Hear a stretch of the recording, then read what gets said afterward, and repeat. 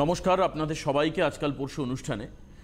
যারা টিভির উল্টো দিকে বসে রয়েছেন, তাদের যেরকম সমস্যা রয়েছে নানান বিষয়ে, ঠিক তেমনিভাবে আমি জানি যে এই প্রোগ্রামে এক শ্রেণির মানুষ আছেন, যারা অনেক গুঁড়ো তত্ত্বের অনুসন্ধান করবার চেষ্টা করেন। সংখ্যাটা কম হলেও এই প্রোগ্রামে সব থেকে সেই সংখ্যাটা বেশি মানুষের।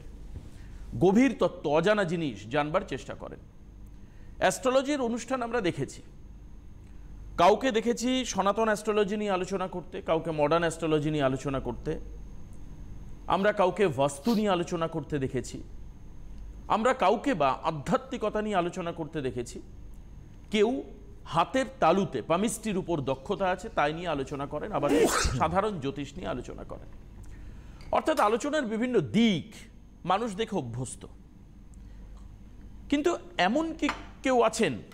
একবার একটু ভেবে দেখবার চেষ্টা করুন এমন কি কেউ আছেন যিনি বিভিন্ন প্রাচীন সনাতনী ভারতবর্ষের বৈদিক যুগের তথ্যাবলী, আধ্যাত্মিকতার সঙ্গে সংযুক্ত তথ্যাবলী, হস্তরেখায় বিভিন্ন মনীষী গ্রেটেস্ট পিপল আইকনিক পিপল তাদের হস্তরেখা এবং জ্যোতিষকে নিয়ে একসঙ্গে আপনাদের সামনে আনবার চেষ্টা করেছেন। আসলে বিচারটা কতটা গভীর হবে সেটা ডিপেন্ড করবে কিন্তু এই ধরনের ব্যাখ্যার উপরে। বিচার, অর্থাৎ আপনার ক্ষেত্রে আপনি যে সমস্যা নিয়ে আসছেন, সেই বিচার প্রেডিকশন এটা কতটা নিখুঁত, নিপুণ, সুতীক্ষ্ণ হবে সেটা নির্ভর করছে কিন্তু তার বিচার ক্ষমতার উপরে। অর্থাৎ তার ক্যাপাবিলিটি অফ জাজমেন্ট জাজমেন্টের উপর ডিপেন্ড করছেন অনেকে স্বভাবসিদ্ধভাবে অনেক কিছু করেন যেগুলো জ্যোতিষের মধ্যে নয়, জ্যোতিষের অঙ্গ নয়, সেগুলোকে বাদ দিন you just avoid the rotten things আজকে আমরা যে ব্যাপার নিয়ে আলোচনা করব, সেটা হচ্ছে আধ্যাত্মিকতা, হস্তরেখা এবং জ্যোতিষের সঙ্গে সংযুক্তিকরণ কীভাবে আপনার ভেতরকার সমস্যাগুলোকে সামনে তুলে আনতে পারে, শুধুমাত্র তুলে আনা সম্ভব, শুধু সেটা আমি বলব না। যখনই কোনো জিনিসের ব্যাখ্যা করে তাকে পরিষ্কার সামনে আনা যাবে, তখন তার প্রতিকার, প্রতিষেধক দেওয়া অনেক বেশি সুবিধেজনক হবে এটা আপনারা আপনাদের ধারণা থেকে স্পষ্ট করতে পারেন। খুব পরিষ্কার করতে পারেন। আমি বিষয় না বুঝতে পারলে জ্বর হচ্ছে, কেন হচ্ছে, কোন কারণে সেটা না বুঝতে পারলে জ্বরের প্রতিষেধক দেওয়া সম্ভব নয়। ঠিক সেটাই আজকে হবে। সজলকান্তি ভট্টাচার্য আমাদের সঙ্গে রয়েছেন, যিনি জ্যোতিষ বিদ্যায় শুধু পারদর্শী আমি বলব না, তার গুঁড়ো গভীর জ্ঞান রয়েছে আধ্যাত্মিকতায়। তার গুঁড়ো গভীর জ্ঞান রয়েছে বিভিন্ন আধ্যাত্মিক জায়গা পরিদর্শন করবার, তার গুঁড়ো গভীর জ্ঞান রয়েছে হস্তরেখা বিচার, তার গুঁড়ো তাত্ত্বিক জ্ঞান রয়েছে বেদ, উপনিষদ সহ একাধিক ধর্মগ্রন্থে, যেখান থেকে তিনি মাঝে মধ্যেই কোট করেন। তার বিশেষ পারদর্শিতার শৈলী তিনি সংস্কৃতে বারবার করে রেখেছেন, যে সংস্কৃত না জানলে বাংলার অতীতকে জানা যায় না, বেদ গীতাকে জানা যায় না। যারা বলেন যে তাছাড়াও জানতে পারেন, তারা মূর্খের স্বর্গে বাস করছেন। সজলকান্তি ভট্টাচার্য আমাদের সঙ্গে রয়েছেন। আবারও আরেকবার আরেকটি নতুন অনুষ্ঠান নতুন কিছু জানা। তবে অবশ্যই আধ্যাত্মিকতা বহু মানুষ এই বিশ্বাসে বিশ্বাসী। অনেকে তাত্ত্বিকভাবে হস্তরেখা বিচারে বিশ্বাসী অনেকে জ্যোতিষ। একসঙ্গে করে কি করে বিচার বিশ্লেষণ করা যায়? অ্যামালগামেশন। অর্থাৎ মানে স্পিরিচুয়ালিটির অধিক কিছু নেই। যৎ সাংখ্যই প্রাপ্যতে স্থানং তজ্যোগৈরপি গম্যতে একং সাংখ্যঞ্চ যোগঞ্চ জপস্যতি স্বপস্যতি যে দেখতে পারে সেই দেখতে পারে। অন্যজনের পক্ষে কিন্তু সেটা ডিসাইফার করা সম্ভব হয় না। সুতরাং তৃতীয় নয়ন বা থার্ড আয়ের কিন্তু ভূমিকা কিন্তু অনস্বীকার্য। জ্যোতিষ মানে জ্যোতি দর্শন করেছে। এই জ্যোতি কথাটা কিন্তু জ্যোতিষ শাস্ত্রের মধ্যে বা শব্দের মধ্যে কিন্তু লুকিয়ে রয়েছে। তো যা হোক, আজকে যে বিষয় নিয়ে আসছি, আমরা পাম নিয়ে কিন্তু খুব ডিটেলস আলোচনা করছি। এখানে আমরা যেমন পামের রেখা, তার mounts formation of the palm colour of the palm এ নিয়ে অনেক আলোচনা করেছি এবং সাইন্টিফিক ডিসকাশন তেমনি আজকে আসছি জিওমেট্রিক আর্ট অর্থাৎ একটা পামের মধ্যে নানা রকম কিন্তু চিহ্ন পাওয়া যায়। সেই চিহ্নগুলো কিন্তু মানে প্রত্যেকটা চিহ্ন কিন্তু স্পেশাল সিগনিফিক্যান্স বহন করে। যেমন হাতে অঙ্কুশ চিহ্ন পাওয়া গেল, অর্থাৎ হাতির মাথায় মাউথ যেটা অস্ত্রটা প্রয়োগ করে তাকে বলে অঙ্কুশ অঙ্কুশ চিহ্ন, বজ্র চিহ্ন, গৃহ চিহ্ন, পদ্ম চিহ্ন হ্যাঁ মর্কট চিহ্ন মৎস্য চিহ্ন বিভিন্ন চিহ্ন ব্যাঘ্র চিহ্ন হ্যাঁ সিংহ চিহ্ন নানা রকম কিন্তু ফরমেশন একদম যে সিংহ এনে হাতে বসিয়ে দিয়েছে বাঘ এনে হাতে বসিয়ে দিয়েছে সাপ এনে সর্পচিহ্ন বসিয়ে, সেরকম নয়। জিওমেট্রিক আর্ট তার মধ্যে একটা জিওমেট্রিক আর্ট রয়েছে। সেইগুলো হকে, সেগুলোকে বলা হয় জিওমেট্রিক আর্ট এবং আমাদের যে সামুদ্রিক শাস্ত্রে হাতের মধ্যে যদি জিওমেট্রিক আর্টের যদি কোনো এ পাওয়া যায়, সিলাইটি বা তার কোনো রেপ্লিকা পাওয়া যায়, তখন সেটাকে কিন্তু বিশেষ সিগনিফিকেন্স দিয়ে দেখা যায়। দেখা যাচ্ছে, আধ্যাত্মিক জগতে আমরা বিভিন্ন মহাপুরুষের জীবনী পর্যালোচনা করতে দেখতে পেয়েছি। আমি নিজেও নর্মদা পরিক্রমা সায় ওঙ্কারেশ্বরে দেখেছিলাম। একজন মহাপুরুষ, সিদ্ধ মহাপুরুষ বারমুডা পড়ে বসে আছেন। সে বিশাল পাহাড় অঙ্কারেশ্বর তারপরে হচ্ছে আদি অঙ্কারেশ্বর হ্যাঁ চারিদিকে একটা স্বপ্নীল জায়গা, আধ্যাত্মিকতার একদম ভুবন। সেইখানে বসে আছেন এবং তার সামনে একটা বাঘ বসে আছে। ভয়ঙ্কর বাঘ।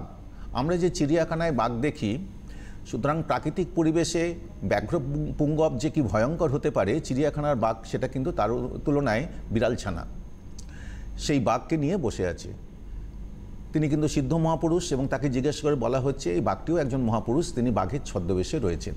আমার প্রশ্ন হচ্ছে, সিদ্ধিলাভের যে বিভিন্ন স্টেজে গিয়ে মানুষ যখন ঈশ্বরেত্বে উপনীত হয়, তখন নিজেকে ক্যামোফ্লেজ করার জন্য বিভিন্ন রকম পশু, সাপ এদের কিন্তু রূপ পরিগ্রহ করে বসে থাকেন যাতে মানুষ তাকে চিনতে পারে না এবং তার প্রারব্ধ কর্ম সে কিন্তু আস্তে আস্তে ক্ষয় করে ফেলে। এই পৃথিবী থেকে সে কিন্তু অমৃত লোকের পথে হ্যাঁ জীবনমুক্ত অবস্থায় কিন্তু সে যাত্রা করে। আজকে আমরা আপনাদের একটা ছবি দেখাচ্ছি হ্যাঁ ছবিটা আপনাদের সামনে ডিসপ্লে করা হচ্ছে। এই যে ছবিটা দেখা যাচ্ছে, এই ছবিটা হচ্ছে মহারাষ্ট্রের একটা মন্দিরের ছবি। সেই মন্দিরটার জায়গাটা হচ্ছে সাংলি। মহারাষ্ট্রের সাংলির মিরাজ তালুকের প্রাচীন হনুমান মন্দির এক অসামান্য ঘটনার সাক্ষী রইল কদিন আগে। শনিবার সকালে একটি হনুমান ওই মন্দিরে এসে পুজো করে, তারপরেই মৃত্যু হয় তার। মিরাজ তালুকের গুন্ডেওয়ারি গ্রামে এই ঘটনাটি ঘটেছে। প্রতি শনিবার এই মন্দিরে বজরংবলীর পুজো হয়। গত শনিবার সকালেও দক্ষিণীমুখী মন্দিরটিতে বজরংবলীর পূজা এবং আরতি চলছে। সে সময় হনুমানটি মন্দির প্রদক্ষিণ সেরে সোজা ভেতরে ঢুকে পড়ে এবং গর্ভগৃহের সামনে সাষ্টাঙ্গ দণ্ডবত হয়ে প্রণাম করে। সাধারণ মানুষ যেমন ঈশ্বর দর্শনে মন্দিরে আসেন তেমনভাবে সেও দর্শন সারে, বারবার হনুমানজিকে সাষ্টাঙ্গে প্রণাম করে, তারপরেই তার মৃত্যু হয়। গোটা ঘটনায় অবাক হয়ে গিয়েছেন স্থানীয় বাসিন্দারা। এই মন্দিরটি বহু প্রাচীন, তাই নানা মানুষ ঘটনার ভিন্ন ভিন্ন ব্যাখ্যা দিচ্ছেন। তবে হনুমানের মৃত্যুর পরে স্থানীয় মানুষ অতি যত্নে তার দেহ মন্দিরের কাছে একটি জায়গায় সমাধিস্থ করেছেন। একটা সিম্পল ডেমনস্ট্রেশন এখানে যেটা দেখানো হচ্ছে সিম্পল ডেমনস্ট্রেশন এবং এটা ঘটেছে মাসখানেক আগে। সেখান থেকে আমি জিনিসটা কিন্তু আপনাদের কাছে কিন্তু তুলে ধরছি।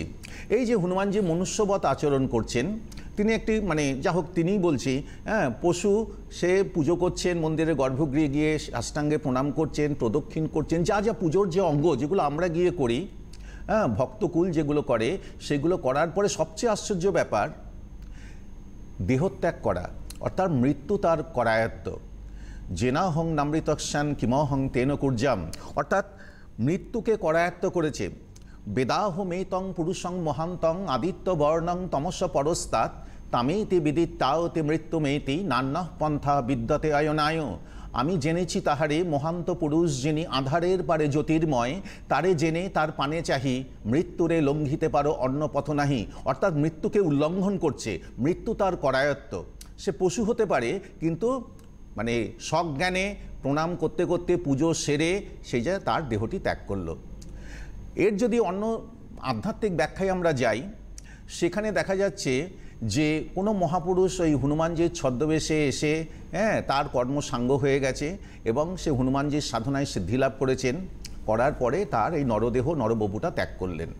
এটা হচ্ছে আধ্যাত্মিক, তার ইমপ্লিকেশন আধ্যাত্মিক হ্যাঁ তার অ্যানালিসিস আপনারা অ্যাকসেপ্ট করতেও পারেন, নাও করতে পারেন।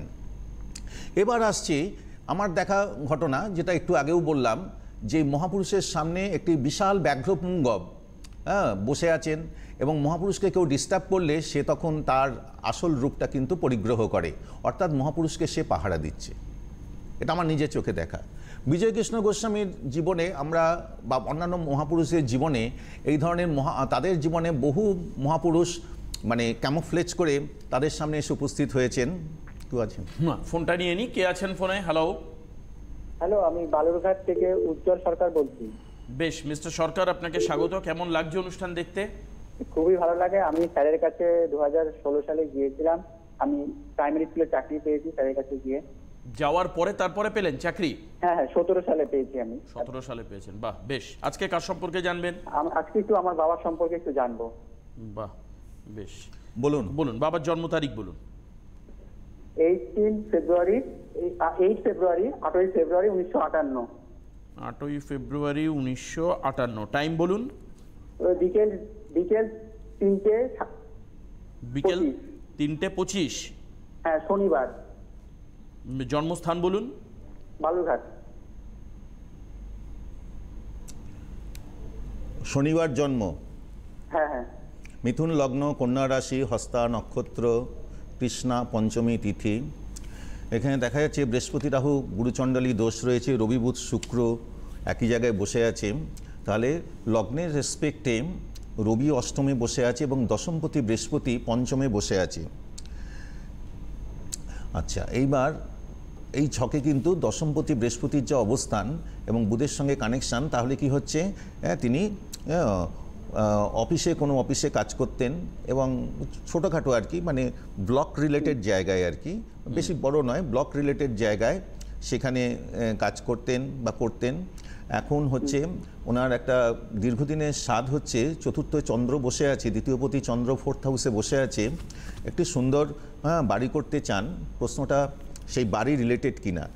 এবং দেখা যাচ্ছে হ্যাঁ। বৃহস্পতি এখন অষ্টমে বসে আছে। তাই চাইছিলেন? হ্যাঁ হ্যাঁ একটা বাড়ি বা ফ্ল্যাট হবে কিনা ভালো জায়গায় এটাই কি আপনার জিজ্ঞাসা ছিল? হ্যাঁ হ্যাঁ এটাই দেখুন মনের কথাটাকে এই ছক দেখে বলা কিন্তু টু ডিফিকাল্ট এবং এর জন্য রীতিমতো চর্চা এবং তার যথেষ্ট লালন পালন করা দরকার শিক্ষাকে।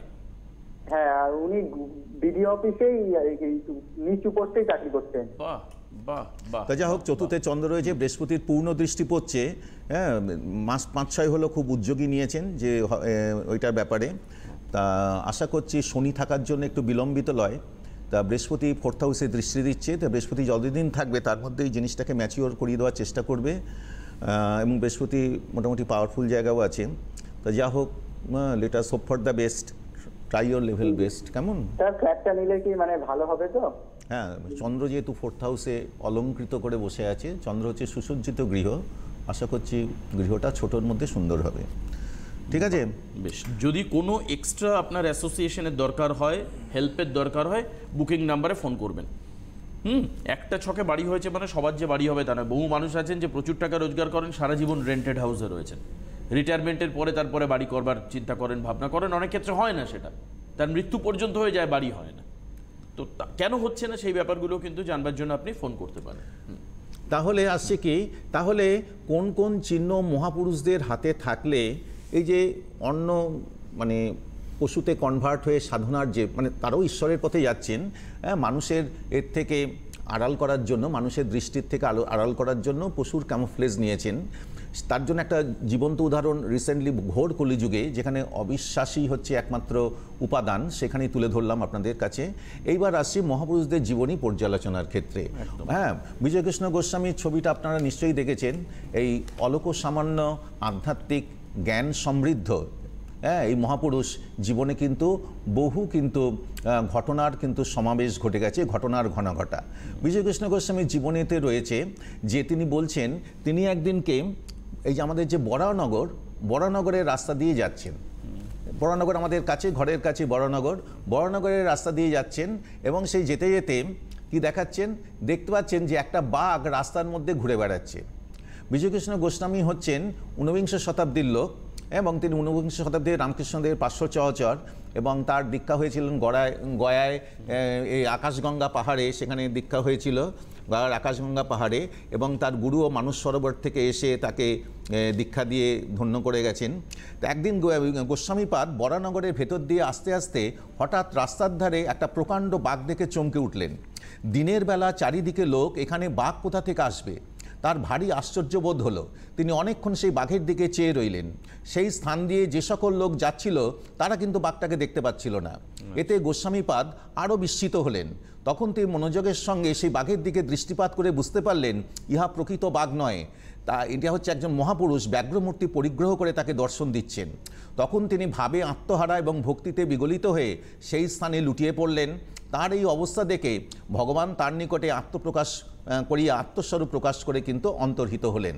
তার দেখা যাচ্ছে যে মহাপুরুষরা বিভিন্ন রূপ পরিগ্রহ করতে পারেন এবং সে রূপ পরিগ্রহ করেন এই জন্য তাদের সাধনার সিদ্ধি লাভের জন্য, সাধনার পারফেকশনে যাওয়ার জন্য। হ্যাঁ এই বিভিন্ন রূপ যে পরিগ্রহ করতে পারেন বিজয়কৃষ্ণ গোস্বামীর এবং মানে এটা মহা- মহা- মহারাষ্ট্রের সাঙ্গিলা নয়, একদম কলকাতার বরানগরের ঘটনা।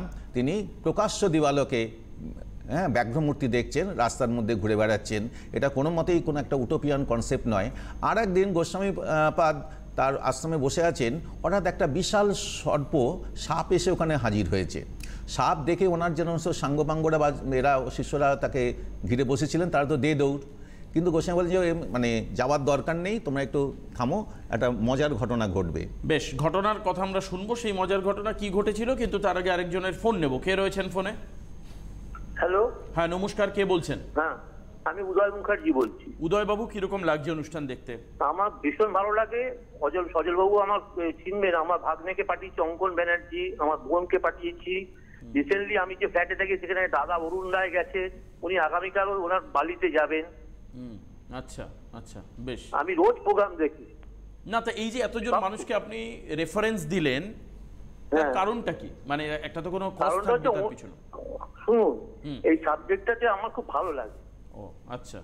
এবং ওনারটা ওনারটাই আমি শুধু দেখি এখন। আর কারোর দেখতে পারি না। ওনারটাই শুধু দেখি মঙ্গল শুক্রবার। আগে তো উনি রাত্রির এগারোটাতে বসতেন। সন্ধ্যেবেলাতে আমি সব সময় দেখেছি। ওনার আমি আজকে ক বছর ধরে শুধু প্রোগ্রাম দেখছি। তার আচ্ছা। ফলেই আমি ভাগ্নেকে পাঠিয়েছি আমার বোনকে পাঠিয়েছি। আচ্ছা, এবং রিসেন্টলি আচ্ছা। আমার দাল উপরে যে ফ্ল্যাটে থাকে অরুণ রায়কেও পাঠিয়েছি। বেশ বেশ উনি কালকে। যাবেন খুব ভালো খুব ভালো। আজকে আপনি কার সম্পর্কে জানতে চাইছেন? আমার ছেলের সম্বন্ধে আপনার ছেলের সম্পর্কে। বেশ বলুন ছেলের জন্ম তারিখ বলুন। আঠেরো পাঁচ নাইনটিন এইটটি ফাইভ। আঠেরো পাঁচ নাইনটিন উনিশশো পঁচাশি। উনিশশো পঁচাশি। টাইম বলুন। সকাল ছটা সাতচল্লিশ। ছটা সকাল ছটা সাতচল্লিশ মিনিটে জন্ম হয়েছে। জন্ম জন্মস্থান হচ্ছে কলকাতাতে জন্ম। ওকে বেশ। শনিবার জন্ম ঠিক আছে? হ্যাঁ হ্যাঁ হ্যাঁ একে আপনার ছেলে নাকি? হ্যাঁ আমার ছেলে। বাবা এ খুব একরোখা আর কি। হ্যাঁ তা এডুকেশনটা ভালোই। এর হচ্ছে অশ্বিনী নক্ষত্র দেবগণ। কী করেছে? এডুকেশনের এটা দেখা যাক। মঙ্গলের প্রাধান্য রয়েছে। মঙ্গল ম্যানেজমেন্টের কারক গ্রহ সুতরাং যদি ম্যানেজমেন্ট রিলেটেড ডিগ্রি করে এম ইন ফাইন্যান্স ফাইন্যান্স হয়, তাহলে খুব ভালো হয়। এখানে দশমপতি, এখানে বুধ আবার একাদশে বসে আছে এবং লগ্নাধিপতি বুধ একাদশে। বুধ হচ্ছে হিসাবরক্ষক। মানে অ্যাকাউন্টেন্সির কারুগ্রহ এবং ওই রিলেটেড চাকরি মানে ব্যাংকের বা ইন্স্যুরেন্স এইসব জায়গায় চাকরি, এর পক্ষে কিন্তু স্যুট স্যুট করবে। এবং এরও ফোর্থ হাউস আগের চারটেও যেমন ফোর্থ হাউস মিথুন লগ্নের রেসপেক্টে দেখেছিলাম, এর ফোর্থ হাউসেও কিন্তু বৃহস্পতির পূর্ণদৃষ্টি জন্মকালীন রয়েছে এবং বৃহস্পতির উপরে বৃহস্পতির ট্যানজিট হচ্ছে। সুতরাং fourth house is over charged সুতরাং ফোর্থ হাউস রেজাল্ট ওরিয়েন্টেড হয়েছে। ফোর্থ হাউস ফোর্থ হাউস হচ্ছে গৃহের কারক গ্রহ সুতরাং গৃহ ব্যাপারে, এখন গৃহ মানে ফ্ল্যাট ফ্ল্যাট কেনার ব্যাপারে, এ কিন্তু তদবির শুরু করেছে, কিন্তু মনের মধ্যে সবসময় একটা ভয় ভয় ভাব ইএমআইটা চালাতে পারবে কিনা এই সমস্ত ব্যাপার ট্যাপারগুলো রয়েছে ইয়েস অন্য একটু বলবেন? আপনি সবই ঠিক বলেছেন। শুধু বলুন যে হবে কিনা ফ্ল্যাটটা মানে এতক্ষণ অব্দি সব ঠিক আছে আসল কথাটা এমসিএ হ্যাঁ কি স্টেট ব্যাংকে করে মনের মধ্যেও খুব ভয় ভয় ভাব নাকি? হ্যাঁ। হ্যাঁ খুব ভয় একটা ডাউট কনফিউশন কাজ করছে। হচ্ছে নেব কি হ্যাঁ, নেব না? কিন্তু চেষ্টাও করছে আবার ভয়ও পাচ্ছে। ভয়ও পাচ্ছে। সেটাই তাহলে ওর মনে কি ভয় পাচ্ছে সেটাও দেখা যাচ্ছে। ছক তো বলছে যে এটাই করতে চাইবে বাড়ি বা ফ্ল্যাট এই জাতীয় কিছু নিজের মাথার উপরে হবে কি ওটা সেটাই জানার কথা হবে বলেই তো বলছি কিন্তু বৃহস্পতিটা এখানে নিচস্থ তো ওই জন্য ভয় পাচ্ছে। বৃহস্পতি জন্মকালীন বৃহস্পতির ওপরে গোচর বৃহস্পতি যখন হিট করবে তখন মনের মধ্যে একটা ফিয়ার সাইকোসিস তৈরি হবে এবং সেটা এখানে হয়েছে। এবং এর আবার বুকে কপটপ জমে হ্যাঁ লাংসটা অ্যাফেক্টেড হতে পারে এবং ছোটোবেলায় যদি জন্ডিস না হয়ে থাকে জন্ডিস হওয়ার সম্ভাবনা রয়েছে ফ্যাটি লিভার আর ভাজাভুজি খায় জল খায় না। সুতরাং এর কিন্তু লিভারটা বারোটা বেজে আছে শরীরগত ব্যাপারটাও কিন্তু দেখা যাচ্ছে। ইয়েস অন্য এ, ঠিক বলেছেন সব ঠিক বলেছেন। সব বেশ বেশ। আচ্ছা মিথুন লগ্ন হ্যাঁ নাহলে এত কিছু বলব কি করে? আচ্ছা ঠিক আছে ভিত যদি নড়ে যায় তার স্ট্রাকচারটা তো নড়ে যাবে। ভিতের উপর ডিপেন্ড করেই তো আমি সুপার স্ট্রাকচার বানাচ্ছি। ইনফ্রাস্ট্রাকচার সুপার স্ট্রাকচার সব বানিয়ে তো বলছি। ঘরের মধ্যে কোথায় কি আছে লিভার কিডনি সব সব বলে দিচ্ছি। বুঝতে পারছেন ইচ্ছা স্বপ্ন কি চাইছে কি ভাবছে কতটা ভয় পাচ্ছে বা পাচ্ছে না এসব শুনে না আমি আমার মাঝে মধ্যে ভয় লাগে। যে আমার বন্ধু যারা তাদের সম্পর্কেও মাঝে মধ্যে সজল অনেক কিছু বলে দেন এখানে এসে। তাদের গোপন কথা আজকে যেমন আমি আমার ওই টেকনিশিয়ান ভাইয়ের সম্বন্ধে বলছিলাম। হ্যাঁ হ্যাঁ হ্যাঁ হ্যাঁ ভাইটা মানে রুম থেকে আমার কাছে উঠে চলে এসেছে। উঠে চলে এসছে। হ্যাঁ ওকে আমি বারবার ডাকি আমার টেকনিক এই হিসাবে তুমি এসো ও আসতে চায় না। হ্যাঁ অনেক দিন পরে পঞ্চাশ দিন পরে এসে আবির্ভূত হয়েছে। একদম একদম। এবং প্রচুর জীবনে মোক্ষ লাভ করেছে। মোক্ষ লাভ প্রচুর জীবনে মোক্ষ লাভ করেছে। পরে একদিন আলোচনা হবে গল্প হবে এই বিষয়ে। আচ্ছা আমরা একটা মজার গল্প বলছিলাম হ্যাঁ। সজলদা। এইবার হচ্ছে কি সর্পরাজ এসে হাজির হয়েছে তার আশ্রমে। গোসাই যে বহু মহাপুরুষের জীবনী তুলে ধরতে পারি কোলাজগুলো তুলে ধরতে পারি। সময় খুব কম। Time is short art is long সর্প মহারাজকে দেখে এসে বিশাল সাপ। সব পালিয়ে গেছে। তবে যখন সে আশ্বস্ত করছেন কেউ পালিও না হ্যাঁ আমি তো রয়েছি। তো তার মানে গোসাইজি তো সিদ্ধ মহাপুরুষ তার কথা বিশ্বাস করে আবার সব এসে অ্যাসেম্বল হয়েছে। তো সর্পমহারাজ এসে গোসাইজিকে বেষ্টন করে মাথার উপরে ফোনাটা ধরেছেন। কিছুক্ষণ থাকার পরে গোস্বামীদের যে কমণ্ডলটা আছে সেখানে জল টল থাকে কমণ্ডলে একটু মুখ দিয়ে চলে গেছে। তা চলে যাওয়ার পরে গোস্বামীবাবু বলছেন যে সর্প মহারাজ আমাকে বেষ্টন করে মাথার উপরে বসে থাকার কারণ হচ্ছে আমার মধ্যে যে কুণ্ডলিনী শক্তি জেগেছে এবং অনাহত পদ্ম থেকে যে অনাহত ধ্বনি বেড়েছে, বেরোচ্ছে। অনাহত ধ্বনি সম্বন্ধে রবীন্দ্রনাথ এক জায়গায় লিখেছেন, মধুর মধুর ধ্বনি বাজে, হৃদয় কমল বনমাঝে। তো রবীন্দ্রনাথ কিন্তু মানে প্রত্যেকটা রবীন্দ্র সাহিত্য বুঝতে গেলে হ্যাঁ মানে খুব অন্তর্দৃষ্টি না থাকলে, সাধনা, সাধন শক্তি না থাকলে রবীন্দ্র সাহিত্য বোঝা যায় না। আধ্যাত্মিক সাধন সম্পদ না থাকলে রবীন্দ্র সাহিত্যকে পেনিট্রেট করা যাবে না। সুতরাং মধুর মধুর ধ্বনি বাজে, হৃদয় কমল বনমাঝে আমাদের হৃদপদ্ম হচ্ছে অনাহত পদ্ম। সেখান থেকে শত উচ্চারিত অনাহত ধ্বনি কিন্তু বেরোচ্ছে এবং সেটাকে বলা হয় ভ্রমর গুঞ্জনবধ সেই ধ্বনিটা শোনাবার জন্য সাপ এসে মাথায় বসে কিছুক্ষণ শোনার পরে আবার চলে গেল। যাওয়ার সময় কমণ্ডলিতে মুখ দিয়ে গেল মানে তার মুখের নাকি বিষটা ঢেলে দিয়ে গেছে। তো সবাইকে বলছে, এই জলটা তোমরা খাও। বলছে, না, বিষ দেওয়া জল খেলে তো সব মরে যাব। বলছে না কিচ্ছু হবে না। সে বিষ দেওয়া জল মুখের মধ্যে সবাই দিয়ে দেখে অমৃত। মানে সে অমৃতের স্বাদ তারা জীবনে কোনো দিন পায়নি। ব্যাপারটা এইভাবে রয়েছে আর কি। সুতরাং আমি মডার্ন কনটেক্সটে থেকে আমরা দেড়শো বছর আগেকার কনটেক্সটে চলে গেলাম যে আগেকার দিনে ওই সমস্ত হতো তখন মিডিয়া স্ট্রং ছিল না। কিন্তু এখনও যেগুলো ঘটে সেই জন্য প্রথমেই ছবিটা দেখালাম। বেশ। আমি আরেকটা ফোন নেব। কে রয়েছেন ফোনে? হ্যালো নমস্কার। হ্যাঁ নমস্কার। আমি বীরভূম থেকে বলছি। বেশ বেশ বেশ। আমি দাদার প্রোগ্রাম খুবই ভালো লাগে। প্রত্যেক শুক্রবার তো দেখাই হয় বারোটা পাঁচে। হ্যাঁ থেকে আচ্ছা খুবই ভালো লাগে এবং আমাদের রিলেটিভ গিয়ে খুবই উপকৃত হয়েছেন। ওনার পারিবারিক কিছু সমস্যা ছিল আচ্ছা। সেই জন্য উনি গেছিলেন হ্যাঁ। দাদার কাছে। তো খুবই উপকৃত হয়েছেন। সমস্যা মিটেছে কি না সেটা আমার জানা হ্যাঁ দরকার।